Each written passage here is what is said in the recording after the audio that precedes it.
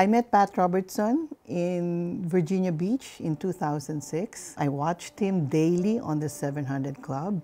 This was part of my training and exposure as the new producer of the 700 Club Asia here in the Philippines. And I saw that the man worked without a script.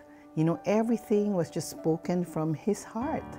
You know, he was really so anointed that he could speak not just about the Word of God and what he's doing uh, in people's lives, but he was able to comment and to teach people about what God wants in the world.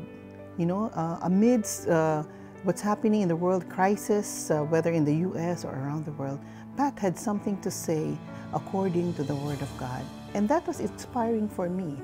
As a former newscaster and reporter, I was very interested in current events. And Pat showed me that people, Christians, televangelism, can speak the truth of God's Word uh, even about current issues.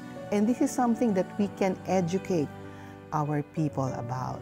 That we today are the prophets of modern day and we therefore have to be able to teach on God's truth even amidst what's happening in our world.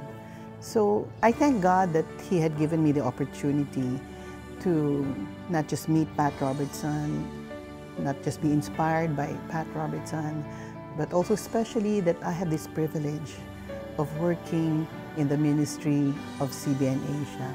I am one of those given the honor and the privilege to run with a vision that God had given Pat Robertson.